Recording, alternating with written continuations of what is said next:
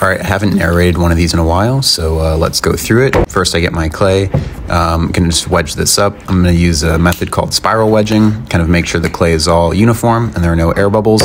Uh, throw it down. I'm not gonna need all that clay, so I cut it in half, and then I can also just check for uh, any air bubbles and uh, clay consistency.